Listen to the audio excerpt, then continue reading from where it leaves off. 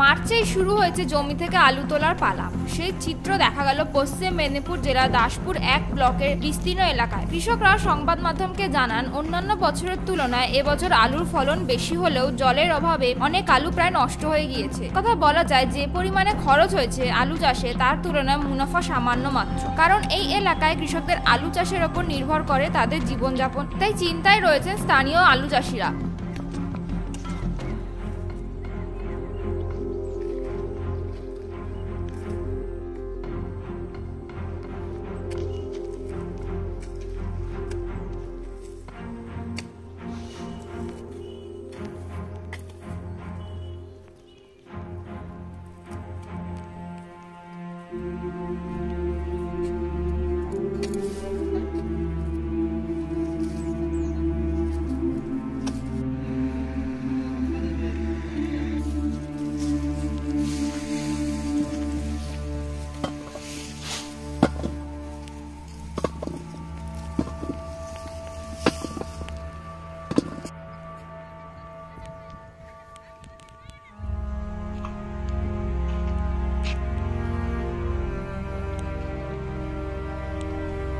দাসপুর এক নম্বর ব্লকের কৃষক, যে সারের দাম, আলুর দাম কে করে চাষ করেছি, তাতে আমার, আমাদের আরও অন্য অন্য চাষিদের ইয়ে হবে নি লাভ লাভের অঙ্কে যাবে নি ক্ষতি হবে হ্যাঁ এরকম আশা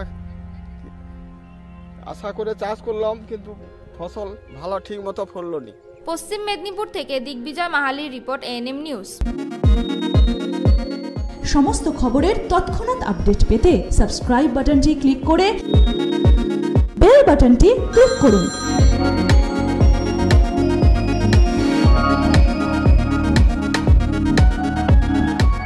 আরও খবরের আপডেট পেতে সাবস্ক্রাইব করুন আমাদের ইউটিউব চ্যানেলটি আর বেল আইকনে ক্লিক করুন নোটিফিকেশনস পেতে।